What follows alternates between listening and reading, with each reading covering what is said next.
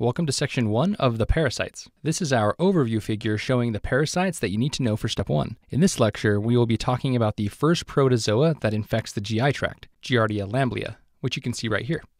Our Giardia story takes place in a little area where a young girl likes to keep watch over her lambs. Unfortunately, people have started to infiltrate the area and now eat the lambs. In an effort to save her little flock, she's taking her lambs and adopting them out. You can even see she made a sign right here advertising her cause Guard a lamb. Guard a lamb sounds like Giardia lamblia. Like any pet, lambs will poop a lot unless you direct them toward a certain area. The girl has directed her lambs to poop right here in this big pile. You can even see this little lamb is just finished up. If you look closely at this big pile of poop, you can see these little cysts.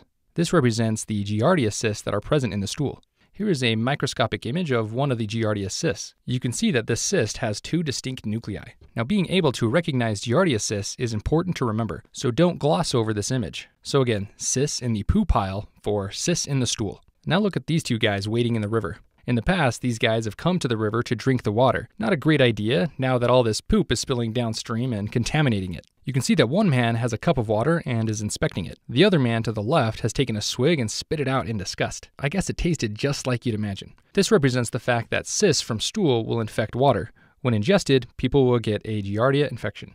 So again, drinking water with poo cysts stands for fecal oral transmission. As you can see, the little cysts have developed into these full blown parasites. Look at those swimming downstream. They love this nasty poo water. They even flow into the drinking trough of these little lambs over here. This trough holds the water that the lambs usually drink from, but now it's totally contaminated. Well, these little parasites flowing into the trough represent trophozoites. Well, trough sounds like trophozoites, and cysts will develop into trophozoites within the intestines. Now, here is Giardia in its trophozoite form. It's often described as a pear shaped flagellated protozoa. Being able to recognize the appearance of Giardia trophozoites is high yield, so commit this to memory.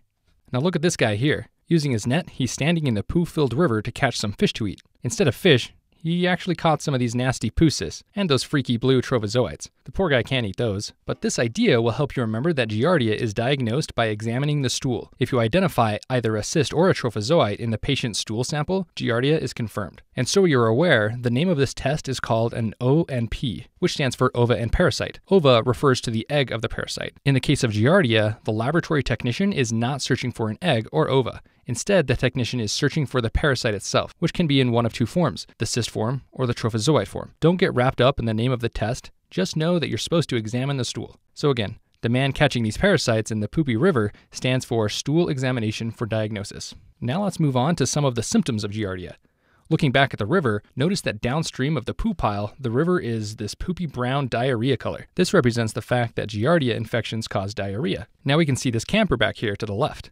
This is where our unfortunate river drinkers came from. They came to camp. Well, this camper represents the fact that Giardia is common in campers and hikers. Campers and hikers need to be careful to not drink natural water without first boiling it. Otherwise, they can get that nasty diarrhea. Speaking of nasty diarrhea, look at those stink lines emanating from the poo in the river. It's so smelly that you can see it. These stink lines represent the fact that diarrhea in these patients is foul smelling. I guess diarrhea usually doesn't smell great, but this isn't like your typical diarrhea. Giardia is especially foul smelling.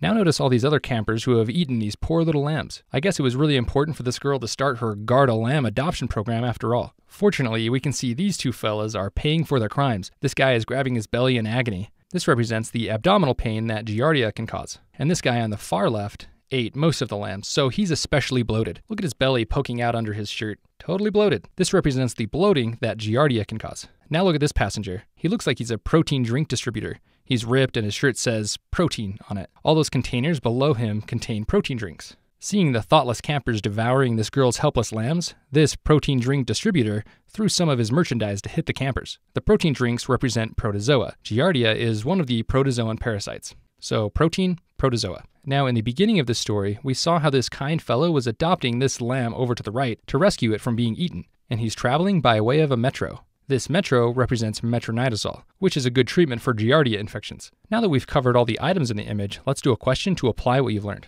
A 23 year old female presents to the clinic with abdominal pain for two weeks. She explains that her symptoms began shortly after returning from a short camping trip near a lake. She denies intentionally drinking any of the lake water, but admits she accidentally swallowed quite a bit one time while swimming. The physician orders an ova and parasite examination, O and P, of the stool. The laboratory confirms the presence of several pear shaped flagellated trophozoites. Based on the likely pathogen, which of the following is the patient most likely to experience at some point during her infection? A. A short period of vomiting. B. Blood in the stool. C. Repeated bouts of loose stools. Or D. Painful headaches. Hopefully, from the question stem, you saw that this describes Giardia lamblia. The girl has abdominal pain, and she went camping and accidentally drank lake water. And finally, an O&P exam of her stool revealed pear-shaped flagellated trophozoites. So believing that this is Giardia, which of the options is the patient most likely to experience? The answer is C, repeated bouts of loose stools. This is just another way of describing diarrhea.